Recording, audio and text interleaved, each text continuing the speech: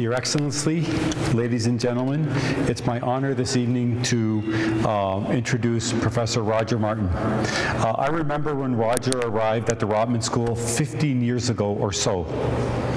It was not then what it is today. Over his term as dean, the school has grown incredibly.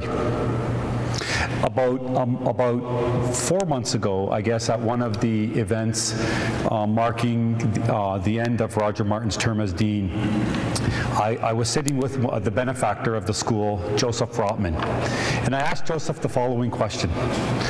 I said, when you first became, became engaged at the Rotman School, did you imagine the transformation that would be become the Rotman School?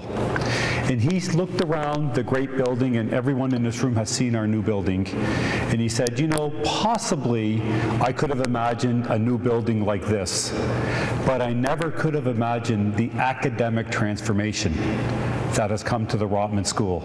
Under Roger Martin's uh, tenure as dean, the school has grown to be one of the top business schools in the world. Um, I should also mention, we've had a debate about how to say this. As, Roger, as, as Dean Roger Martin raised $250 million for the school. So we had a debate, is it better to say 250 million or a quarter of a billion? And so we've been debating that. Uh, but what a legacy.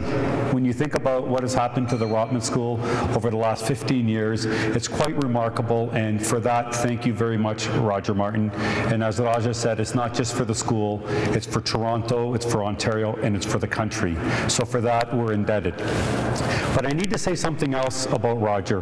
Roger has been incred incredibly supportive of our efforts to engage the Arab world. Under his leadership, we, we um, started a study tour to the Middle East. So I took MBA students to Dubai, to Abu Dhabi, to Jordan, to Egypt, and we took them to Turkey but got into trouble because Turkey is not part of the Middle East, it's part of Europe. Uh, so uh, we had, but that's another story. But um, I want to also say that when we first announced the study tour to the Middle East, we had more students apply to go to the Middle East than to apply to go to China. So uh, with the organic growth of the um, Middle East Business Association and interest at the Rotman School, there's an increased awareness and desire for students and faculty to learn more about the Middle East. It was also under Roger's leadership that we began the first MBA course in the country in Islamic finance. And I've been told we are the highest ranked school on the Financial Times list that has an MBA course in Islamic finance.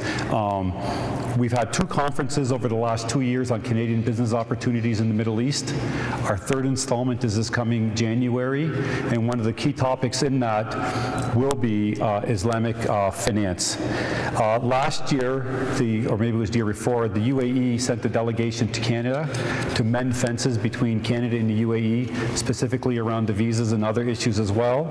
And that delegation did visit the Rotman School. And Roger Martin in the in, uh, Rotman School of Management signed a memorandum of agreement with the government of Dubai to help co to cooperate on the development of a green economy college. And work continues in that, in that realm to help Dubai and the UAE more generally become more competitive. And I, and I must say, the session that we had in Dubai just uh, a year ago or so was all around integrative thinking, which is um, the method that's being used at the Rotman School, pioneered by Roger Martin, and it's really, the whole MBA program is now around that. So thank you, Roger, very much for your support. Um, but I just want to finish with a little story. Um, Dan Dinesh, uh, general manager at Lootah, SS Lootah, a big conglomerate in the UAE. Dan Dinesh came to visit Roger Martin, and we met in your dean's conference room. And one thing you know that whenever you meet whenever you meet an Arab, the last thing you want to well, how do I say this? You don't want to say, "I like your jacket," because if you say that, then Arab hospitality says, "I must therefore give you that jacket." So Roger learned that lesson, um, and um, you know, I, I, just want to finish by saying, Roger, we're incredibly um, happy and appreciative of your support. I'm not going to say I like your car, okay? But just let this be a reflection of Arab hospitality um, to acknowledge your and recognize your support. Thank you very much, Roger.